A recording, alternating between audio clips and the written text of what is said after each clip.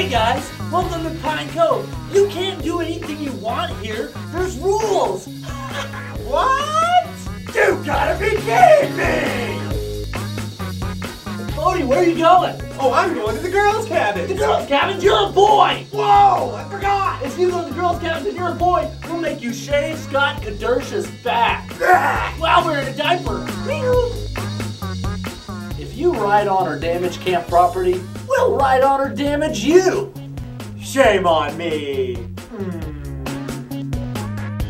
I'm Will Washington. I'm gonna hop the fence and swim the pool. Well, there's not a lifeguard on duty. Out the window!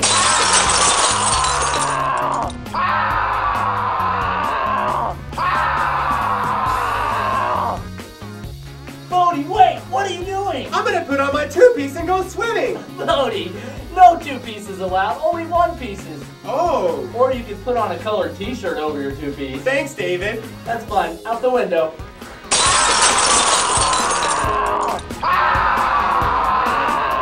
Rule is rule.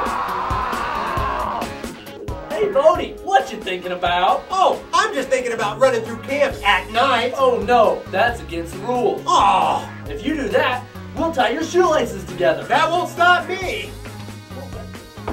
He fell down, and so will you. Look at all this trash everywhere. Good thing it's not ours. Oh, hold on a second, guys. Come here, Bodie. We've got to pick up all trash, even if it's not ours. and if we don't, Well, I'll throw you on a treadmill that's going way too fast. Like this girl. Oh.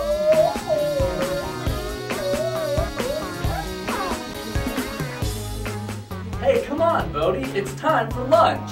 Not me. I'm gonna be fashionably late.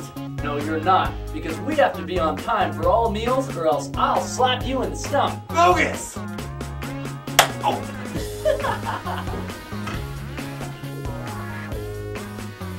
Hey, what are you guys whispering about? A prank. I heard a prank. No pranks, raiding, or sneaking out, or else you know what'll happen to you. Huh? What?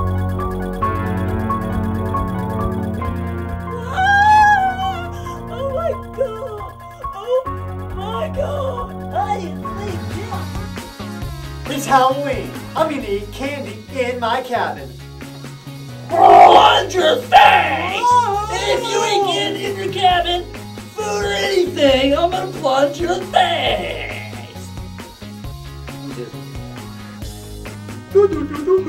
I'm in the sound booth. I'm in the kitchen.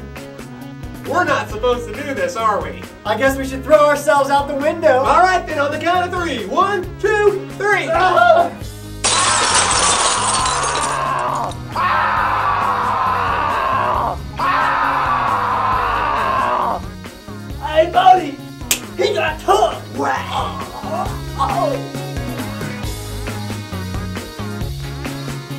Like shiny things.